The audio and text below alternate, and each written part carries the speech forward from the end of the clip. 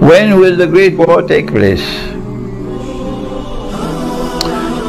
My answer, which will surprise you,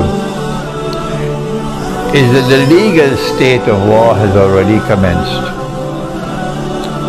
That when you're imposing these sanctions and seizing Russian property, seizing Russian money, stealing it, you you are declaring war.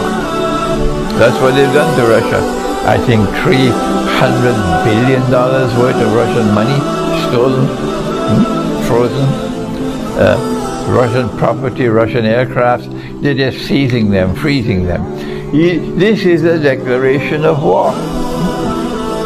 Russia cannot sell her oil. Russia cannot sell her, her wheat, her food. It is uh, something commendable.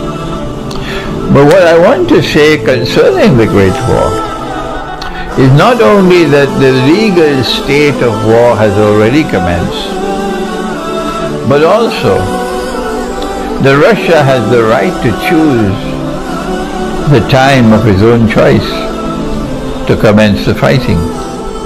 Because you are strangulating Russia. And when someone is being strangulated, you put a rope around his neck and you're tightening it. He is the one who will decide when he will choose to decide what to do to remove the rope from among it. It's not you who will decide when the war will take place. He will decide because you're strangling him, strangulating him.